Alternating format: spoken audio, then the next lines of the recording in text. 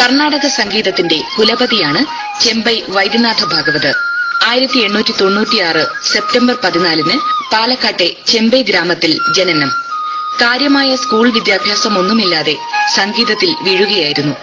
എട്ടാം വയസ്സിൽ ചെമ്പൈയിലെ പാർത്ഥസാരഥി ക്ഷേത്രത്തിൽ അരങ്ങേറ്റം.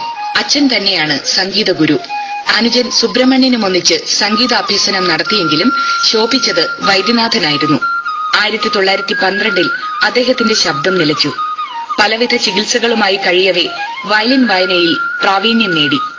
ആറു വർഷത്തിനിടയിൽ ശബ്ദം തിരിച്ചുകിട്ടി ആയിരത്തി തൊള്ളായിരത്തി പതിനെട്ടിൽ മദിരാശിയിൽ ആദ്യ കച്ചേരി നടത്തി.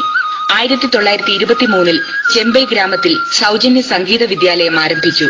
ആയിരത്തി തൊള്ളായിരത്തി മുപ്പത്തിരണ്ടിലാണ് ആദ്യ ഗാനം ശബ്ദലേഖനം ചെയ്യുന്നത്.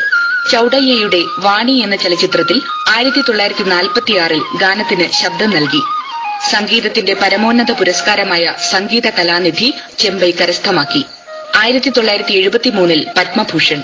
ആയിരത്തി തൊള്ളായിരത്തി എഴുപത്തിനാല് ഒക്ടോബർ പതിനാറിന് പൂഴിക്കുന്ന് ക്ഷേത്രത്തിൽ കച്ചേരി കഴിഞ്ഞ് വീട്ടിലെത്തുമ്പോൾ ആകസ്മികമായ മരണം. ശബ്ദത്തിന്റെ ഗരിമ കൊണ്ട് സംഗീത ലോകം കീഴടക്കിയ ചെമ്പൈസ്ഥരായ ശിഷ്യർ ശബ്ദചക്രവർത്തിമാരായി സംഗീത ലോകത്ത് ഇപ്പോഴുമുണ്ട്.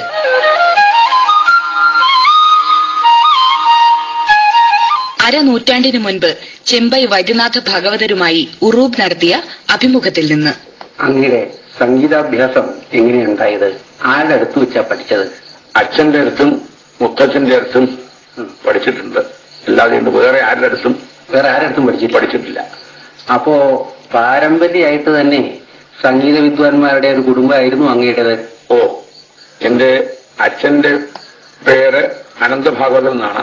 അദ്ദേഹത്തിന്റെ അച്ഛന്റെ പേര് വൈദ്യഭാഗവതർ എന്നാണ്. അക്കാലത്ത് സംഗീതത്തിന് കേരളത്തിൽ ഉണ്ടായിരുന്ന ഒരു നില എന്താ? ഇന്നത്തെ മാതിരി ആസ്വാദകന്മാരും ധാരാളം സംഗീതക്കാരും ഒക്കെ ഉണ്ടായിരുന്നോ? അന്നത്തെ കാലത്ത് ഇപ്പോ അത് പിന്നെ ഈ തൃപ്പണത്തിലോത്സവം വൈക്കത്തഷ്ടമി ഇങ്ങനെയൊക്കെ ഞാൻ പലരിക്കലേക്കും പോവാറുണ്ട്.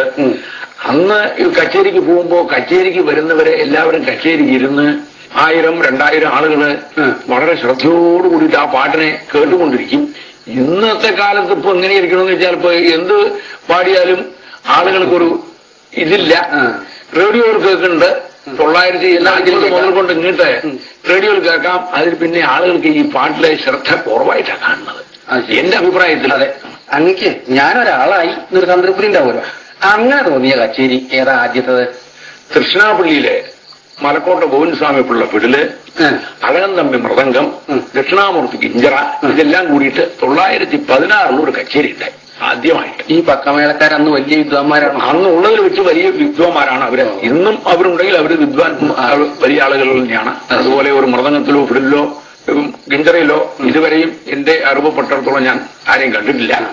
അന്ന് അവരൊക്കെ പാടുകൂടി വായിച്ചു. അന്ന് ഒരു ആര്യഗാന സഭ എന്ന് പറഞ്ഞിട്ട് ഒരു കൃഷ്ണാപള്ളി നൂറ്റിക്കാൽ മണ്ഡപത്തിലാണ് ഉണ്ടായിരുന്നത്. പോയി പാടി അവർക്കൊക്കെ സന്തോഷം. അവരും ക്ഷണ ക്ഷണിച്ചിട്ടാണ് പോയിട്ടുള്ളത് ഞാനും. അവർക്കും സന്തോഷമായി. എനിക്കും ഓ ഞാനൊരു വലിയ പാട്ടുകാരനാണെന്ന് തോന്നിയത് അന്ന് തോന്നിയിട്ടുണ്ട്. നൂറ്റി ഇരുപത്തഞ്ച് ഉറുപ്പിയും കിട്ടി. പിന്നെ ചോദിക്കാനില്ലല്ലോ. കിട്ടിയാൽ സന്തോഷിക്കാത്ത മനുഷ്യനെ ആരും ഇല്ലല്ലോ. അതാണ് ആദ്യത്തെ കച്ചയിൽ ഒരു ഒരു തുകയായിട്ടൊരു പണവും ഇതൊക്കെ കിട്ടിയത്. അത് ശരി. അന്നത്തെ ആ സദസ് എങ്ങനെ? സദസ് അന്ന് ഇതുപോലെ തന്നെയാണ്. ഒരായിരം ആളുണ്ടെന്ന് പാട്ട് ഉം. ഒരു നിശബ്ദം ആയിട്ടാണെന്ന് കേട്ടുള്ളത് നാട്ടു കച്ചേരി കഴിയുമ്പോൾ ഞാൻ വായിക്കുമ്പോൾ പാടുമ്പോൾ കൈകൂട്ടും ഗോവിന്ദസ്വാമി വായിക്കുമ്പോൾ കൈകൂട്ടും മൃദംഗം വായിക്കുമ്പോൾ കൈകൂട്ടും. അങ്ങനെ ഇങ്ങനെയായിട്ടാ കഴിഞ്ഞത്. വളരെ ഉത്സാഹമായിരുന്നു. വളരെ ഉത്സാഹമായിരുന്നു. ആ കച്ചേരി പിന്നെ ഈ പഴയ കാലത്ത് അതായത് അങ്ങയുടെ ചെറുപ്പത്തിലെ അങ്ങ് ഏറ്റവും ആകർഷിച്ചിട്ടുള്ള സംഗീതക്കാരനാണ്. പഴയ കാലത്ത് ഞാൻ കേട്ടിട്ടുള്ള പാട്ടില്ല. പാട്ടിൽ ആ പാട്ട് ഏത് പാട്ടാണ് അധികം ആകർഷിച്ചത്? ആ കാലത്ത് നമ്മുടെ രാജ്യത്തിലെ അനന്തരാമ ഭാഗവതർ എന്നൊരാളുണ്ടായിരുന്നു. അനന്തരാമ ഭാഗവതർ അതെ. അദ്ദേഹത്തിന്റെ പാട്ടാണ്. എല്ലാത്തിലും ഇതായിട്ട് ആകർഷിച്ചിട്ടുള്ള പാട്ട്.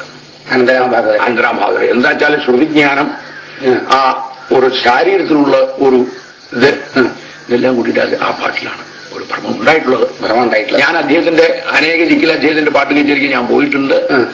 രണ്ടാളും കൂടി ഒരു കല്യാണത്തിന് തന്നെ കച്ചേരി ഉണ്ടായിട്ടുണ്ട്. അദ്ദേഹം എന്റെ പാട്ട് കേൾക്കാൻ വന്നിട്ടുണ്ട്. ഞാനും അദ്ദേഹത്തിന്റെ പാട്ട് കച്ചേരി അനേക രീതിയിൽ പോയി കേട്ടിട്ടുണ്ട്. അതല്ലാണ്ട് വേറെ ഒന്നും ആ കാലത്ത് അതാണ് അങ്ങ് ഏറ്റവും അധികം ആകർഷിച്ചത്. അതെ. പിന്നെ എല്ലാ കച്ചേരിയിലും വിടാതെ പാടുന്ന പല രാഗങ്ങളുണ്ടോ? ഉണ്ടെങ്കിൽ ആ രാഗങ്ങളോട് പ്രത്യേകത ഉണ്ടായിട്ടാവണല്ലോ. അങ്ങനെ വല്ലതും ഉണ്ടോ? എനിക്ക് ആ എല്ലാ കച്ചേരിയിലും വിടാണ്ട പാടാതെ ഞാൻ എല്ലാ കച്ചേരിയിലും വിടാതെ കൊണ്ട് പാടുന്നത് ഈ ഭൈരവി വർണം. എല്ലാ കച്ചേരിയിലും വിടാതെ കൊണ്ട് പാടും. വാതാപി ഗണപതിയും ഭജെ ഉം. വിടാതെ കൊണ്ട് പാടും പിന്നെ രഘുവര എന്നുള്ളതും വിടാതെ കൊണ്ട് അനേകം മുക്കാലെ അരയ്ക്കാലും നൂറ്റിന് തൊണ്ണൂറ്റി ഒമ്പതിലും. ഇത് പാടാതെ കണ്ടുള്ള കച്ചേരി എനിക്ക് ഒരു അമ്പത് കൊല്ലായിട്ട് തോന്നുന്നില്ല. അത് ശരി. പാടും പഠിപ്പിക്കുമല്ലാതെ സംഗീതത്തിന് വേണ്ടിയിട്ട് വേറെ എന്തെങ്കിലും ചെയ്തിട്ടുണ്ടോ?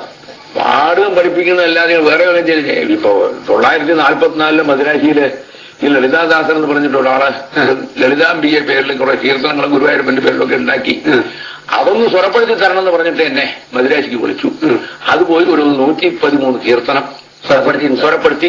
ചിട്ടപ്പെടുത്തിയിട്ടുണ്ട്. അതിനെ മട്ടൊക്കെ ഇട്ടിട്ടുണ്ട്. അതിപ്പോ പാടാറുണ്ടോ സാധാരണ?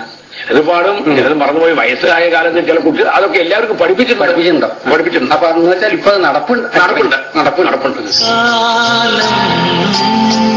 a.